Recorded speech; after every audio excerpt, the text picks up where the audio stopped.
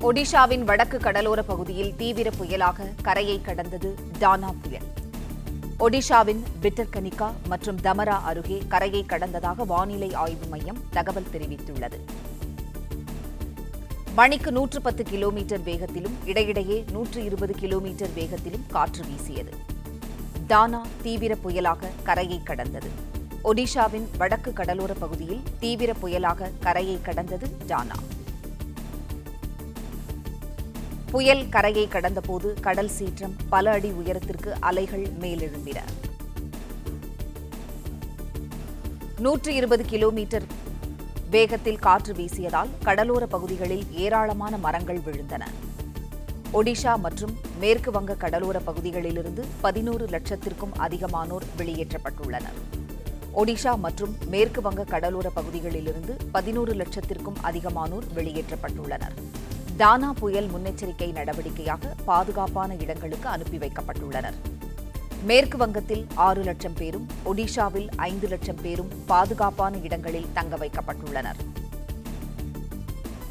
மேற்கு வங்கத்தில் ஆறு லட்சம் பேரும் ஒடிஷாவில் ஐந்து லட்சம் பேரும் பாதுகாப்பான இடங்களில் தங்க வைக்கப்பட்டுள்ளனர்.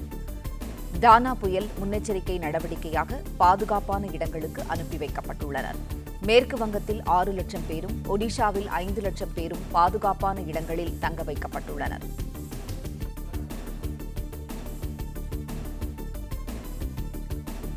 புயல் காரணமாக புவனேஸ்வர் மற்றும் கொல்கத்தா உள்ளிட்ட விமான நிலையங்கள் மூடப்பட்டன.